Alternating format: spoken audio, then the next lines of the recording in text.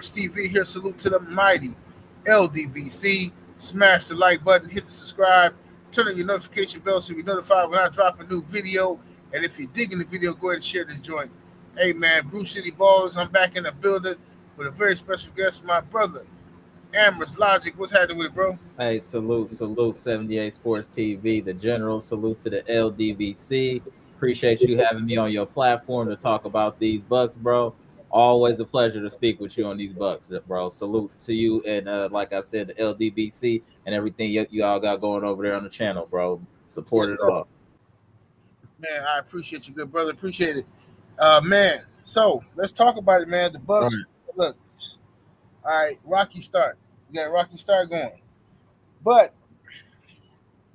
last three or four games we've been balling, man. I think we've been playing hard. I, I definitely think we've been playing with a lot more energy. I, I agree with you there. um I've, I've been appreciating the effort that the guys are playing with. You know, Dame has been hurt due to uh, a concussion or something. They say Right. uh, we had Rollins, the backup point guard, who played well, and Got then he got hurt. Crazy man. Bobby was out for a game. One game, it was Giannis and like the three amigos or something out there. Bro, it was Giannis in the herd. Yeah, yeah, for real. You know what I'm saying? It was crazy, Right. but but we was able to pull it off. But one thing I've noticed the last couple games, okay, is that it's even at home, bro. At home and on the road now with with, with the Hornets, they're they're not giving Giannis superstar calls. At all. Oh, I thought first they was doing it because we had Giannis and Dame, and they didn't want to give both guys superstar calls. right, But right. Dame hasn't been playing. So why why are y'all doing Giannis like this? The only thing I could think of is that they're they're trying to frustrate Giannis to leave Milwaukee, bro. Correct. That's what they want. Correct. Let's look at these numbers here, man. All right. The Charlotte Hornets, the Bucks won, lost by one point. We should have easily won this game. We had the game won. Um, and Taurean Prince, shout out to him, had 23 points. His best game of the season by far. Uh, Referee said go, no- I just want to interject here briefly. 78. Uh-huh. I think we got to shout out Taurean Prince. He's been our best free agent pickup so far, low key. For sure, he has. Definitely has. Uh, uh, you know what I'm saying? Tory Prince had definitely earned uh, my respect with that game he just put down. Um, Giannis finished the game with 22 points. However, Giannis shot the throw. ball 22 times and only shot one free throw. It's crazy. One free throw for Giannis. Don't Giannis lead the league in free throw attempts or something? Yeah, they're trying to. They don't like that. But all of a sudden, he'll he only shoot one free throw. Man, this is disgusting behavior from the NBA. Disgusting. So Giannis, and had Giannis even shot seven, eight free throws, we win this game. Correct. Correct. This was all man, whatever. Rig, Rig City. But I will say the Bucks were shooting themselves in the foot on the offensive rebound, and we got to get better at rebounding and crashing the boards. Yeah. That's killing us. That's killing us. For 78. sure, man. Not crashing the boards is some. It's it's been a problem for the last couple years with the Bucks. I don't know. We shoot, we one and done. Like we shoot, and we rushing back to defense because we're so old. Oh, bro, that's the thing. See, that's what the truth is. Mhm. People don't want to say why they keep leaking out. What Right. you just said is exactly why they leak out because they don't got the legs to cover the ground if something go left. So they trying Right. to get ahead of it, even if that costs them a rebound, which don't make sense. Man, It's, it's it's ridiculous, man. Um, you know, right. And I've noticed that for the last couple years, the Bucks will not crash the boards because we were getting beat so easily. They just run down court. The other team run down court. We got nobody down there because we're not playing the young players. they're, So we they're- got Brook Lopez slow as ever We're on the court, and you know we got all these old guys, and uh, uh and, and nobody rushes back on defense. So now instead of crashing the boards, guys try to get a, a, a head start, and they run back on defense, and nobody crashed the to, board. to, to allow somebody to blow right past them when they when they uh, stationary on defense. Running back Um, just to let somebody blow past them for them not to uh, run over the screen. And the thing is too, like all in all seriousness, 78, I don't know how we can look at this team with Brook and Bobby still on here because they impact this team in such a negative way sometimes. I, I just think we're better without them. Like Brook cannot play against athletic, athletic big men at all. If you can shoot the three or shoot it all, Brook is gonna have problems. Brook can only play against centers that are traditional centers that are in the post or maybe shoot a mid range. But if you got any athleticism and shoot a three, Brook becomes unplayable. That's all facts, man. I just I have a hard time, man. Like uh I'm I'm emotionally attached to the Bucks, man. Mm-hmm. And I like I love Brook, man, but I, you're right. You're absolutely right, bro. He got I mean, we gotta trade him at this point. He gotta go. We gotta trade him, man. He like, gotta go, bro. And it's not like we don't appreciate what you've done. You helped us win a championship. Yeah. You are you are a, de- a defensive player of the year, runner up. But the game has passed him by, bro. The game is too fast for him now, and he's not shooting well like he used to. He's struggling from three. On top of it, and that was supposed to be his benefit. He's shooting like twenty some percent from three. That doesn't really yeah, help. Yeah, that, that's and that's don't rebound, and yeah. you don't rebound. It's right, like right. you can't be seven foot something and, and then you shooting, you you spacing the floor out, you shooting threes, but you're not hitting them. And on top of that, you ain't getting no rebound. It's like, bro, get out of the way, bro. Get out of the way, bro. You know what I'm saying?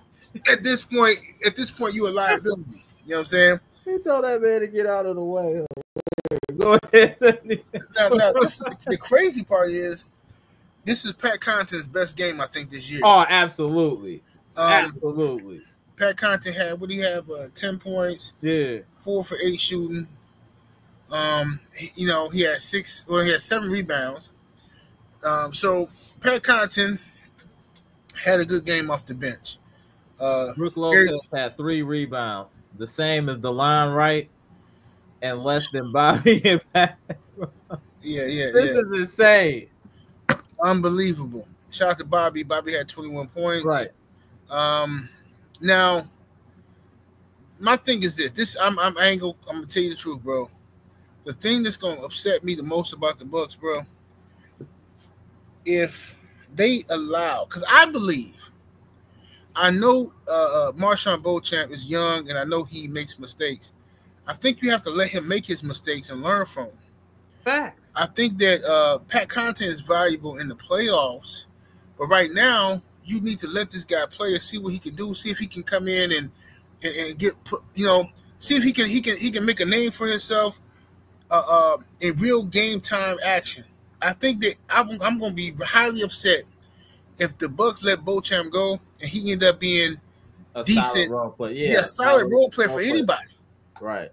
I'm gonna be hot because you're giving him Pat C. Pat C. should be on the bench and and MarJon should have those minutes to at least see what he got. You already know what Pat is. What what you know what I'm saying? Like, is that's all I'm saying because you can't tell me that MarJon Beauchamp can't do what Pat Connaughton giving us right now.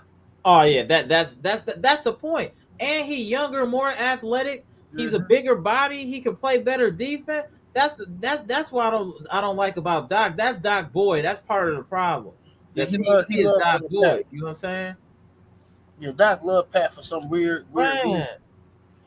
You know, remember, remember we couldn't understand how why uh, uh, uh George Hill. No, no, what's what's the, oh yeah, yeah. George, Hill was in uh, uh, was uh what's the coach name? Bud. Coach Bud loved George Hill. I mean, he loved George Hill, and we like, bro, why do you keep playing George Hill, fam? George Hill is trash, fam. He loved George He'll trade it and then feel away, then trade again. Right, right, right. Trade to get him back. You know what I'm saying? you know, and this is every coach got they one. You know, right, saying? right. They, they, the Brown nose I could tell Pat the Brown nose in the locker room. Fact. He, he the one who be, you know, hey Doc, uh, I bought you some. I went to, I stopped by the Dunkin' Donuts. I got you a few. You know these, the, the uh, apple crisp or whatever the hell. You know hmm. all that old mess oh, thanks, Pat. That's very considerate. You know, oh, mess like that. You know, stopping at Starbucks, get him that nasty turkey right. sandwich. So that's that's what they're doing. And Doc Love, he loves his cat. But the rest of the Bucks know Pat Connaughton. I look, man. I wouldn't mind if Pat or Khris Middleton right now was on our bench as, as one of the assistant coaches. I wouldn't mind it. Hilarious that you threw Khris Middleton. But but but you know, speaking of Khris Middleton, man, what, what do you think, bro? What's going on? I'm I'm not sure what to think of Middleton. I, I'm just not sure. I feel like this injury is taking way longer than people anticipated, and I feel like the uh, organization let the fans down by not telling them the truth mm-hmm. about the state of Khris Middleton's injury. You know what I'm saying? I felt like if they knew that he was going to be gone for an extended amount of time, to just say that, not to say, oh, he's going to be there for training camp, oh, he'll be there for uh, for the first game, uh, uh, preseason, just all of this stuff that never happened when you knew that he was going to be out for an extended amount of time. You know what I'm saying? And then now the thing is with Chris, he'd already missed what 10 games. He probably not coming back in the next two, three weeks. So he already down 15, 20 games. Chris so at the most, he's looking at getting 50 games. You you you looking at getting 50 games out of Chris, and it's like that's not fair to the fans, the organization, or Giannis. And I I keep saying the Chris injuries is a direct uh, correlation with Giannis being burnt out by the end of the year, getting hurt going into the playoff because he has to shoulder so much of the load because Chris is never available. Right. Even even before Dame was hurt, Dame and Giannis was playing 40 minutes. Right. 40 minutes, bro. Yep. And that's because Middleton ain't available and this team is top heavy. When you don't have all your stars, it put a strain on the entire team. Like we got Chris got to do something. He either is gonna have to deal with the reality he Brandon Roy and need to hang it up, or he need to come back and start hooping and not miss a game when he come back. It got to be one or the other, but he got to pick a struggle. Man, I heard. I don't know how true this is. I heard Khris Middleton ain't gonna be back until after the All Star game. and if that's true, man, bro, like, I mean, are we even gonna be in playoff contention? That bro, that's what I'm saying. Not saying the young guys can't cook and do so, but that's a lot that you asking the young guys to do in today's NBA. It, that's a lot. It is. It is. That's a lot. I mean, ideally, it would be great to have Khris Middleton, Giannis, and Dame healthy going into the playoffs. But Correct. We got to be in the playoffs. We got to be in the playoffs because we still haven't seen all three of them play together. Correct. For an extended period of time. So we don't even know how good that that trio is. You know what I'm saying? Um, they don't even know. Like that's this. Right. This is also. It's, it's nuts, man. It's nuts. It's crazy, bro. It's uh, crazy. But uh, let me ask you this though. Um, okay, what do you think Doc can do right now? I, am liking the fact that he's playing mm-hmm. a lot of young players. I think that he has no choice now, but you know, I like the fact that he's playing some of the young players, giving them opportunities. Right. And and I think they're playing hard, bringing a lot of energy to the to the game. What you think about what Doc can do to uh, from a coach's standpoint to help the team? I think the only thing he can do is just con- continue to play the young talent and really believe in the young talent. Don't be yanking them if they make some mistakes. Let them play through it. I think he's been doing a pretty good job doing that. Andre Jackson Jr. has been getting heavy minutes and producing. I believe he had 14 points last game, hitting a couple corner threes. If he can just do that and just be that Swiss Army knife, I, I think that's a positive. AJ Green has been shooting pretty solid. He's pretty much out of his slump. Gary Trent Jr. has been playing better. He's finally out of his slump. He had, had two games in a row of shooting decent. The other, I mean, like, it's just gonna be playing the young dudes. That's it. And I really want to see Tyler Smith. I, I just I just feel like he might be able to give us something where we could shift right. the lineup a little bit and have another big and maybe try an alternative at center instead of uh, Brook. If that's Giannis, if that's Bobby, but just something to switch it up because Brook is unplayable against faster teams and you still need some size out there. So I think Tyler Smith should really be starting to get a look to see what he can do at this point. I also want to see AJ Johnson back up from the herd and see what he can do. I, am all with the youth movement. We don't have a choice at this point. We don't have no draft picks. Right. 2031. So we gotta let these young guys cook and, and let's put them all out there and see who good and not good. At this point, that's why not. I agree. Like I don't know what we waiting on. Like uh I'm so tired of seeing ex Bucks players hooping for somebody else. I'm tired. Right. It's really irritating me. Cause I'm like, man, we had this dude, man. He was with the Bucks, man. Right, DiVincenzo, Merrill, so right. many, uh, Grayson Allen playing better over there in right. Phoenix. Mm-hmm. Yep, and, and, and Grayson Allen, uh, defense was underrated. Right. Him, Jrue, we had a decent uh, backcourt as far as defense goes. Defensively, right. Yeah, and now, you know, we got, you know, everybody know Dame don't really play no defense. Right. You know, so um they they gonna they gonna have a young boy, uh you know, Rollins. and Rollins, hopefully Rollins can can can step up and do what he gotta do. And um, uh Action Jackson can do his thing as well, help him out. But yeah, the Bucks gotta have some better defensive schemes. I'm, i mean, everybody keeps talking about three point defense, but man, I'm so irritated with how easily people get to the basket on us, bro. Like Every, just, everything is bad, bro. Every our defense is just bad.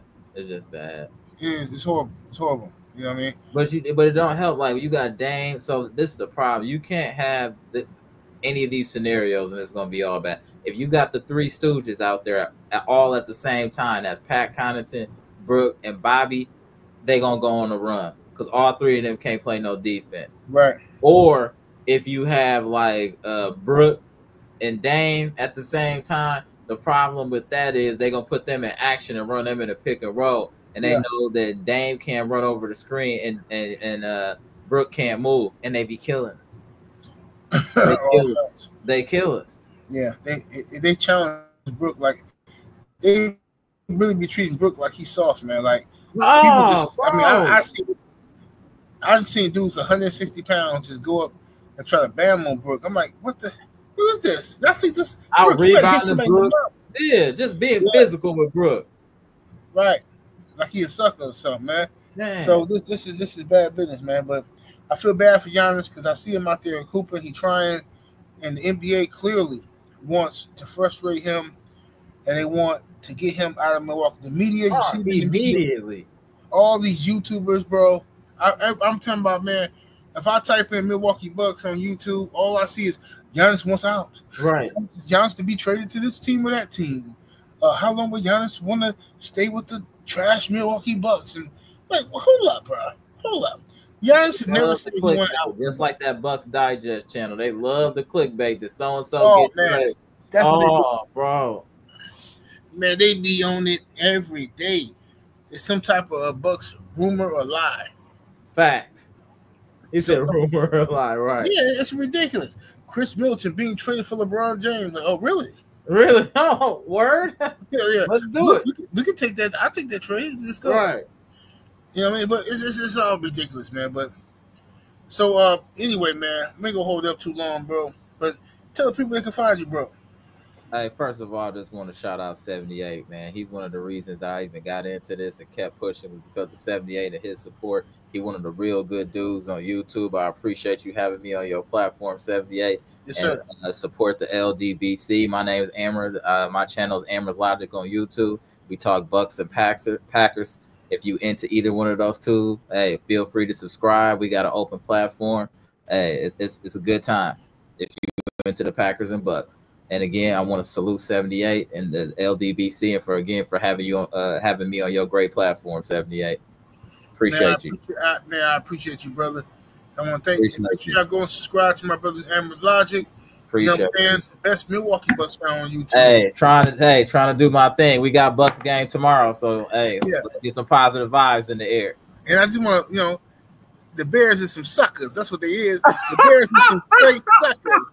I just knew something was coming. Hey, just I knew I smelled something was coming. Hey, hey the Bears is some suckers. You know what I'm saying? I knew it. Hey, the lady for the Bears, the Lions, and Minnesota, they all suckers. You know what I'm saying? I knew it. Yeah, we out here. We ain't playing with y'all. I knew something was coming. I knew I felt it. I hey. knew it. bro. Shout out All right, brother. I'm gonna holler at you in a minute. Bro, shout out 78, man. Yes, Go. sir. Peace, brother. Go, bro,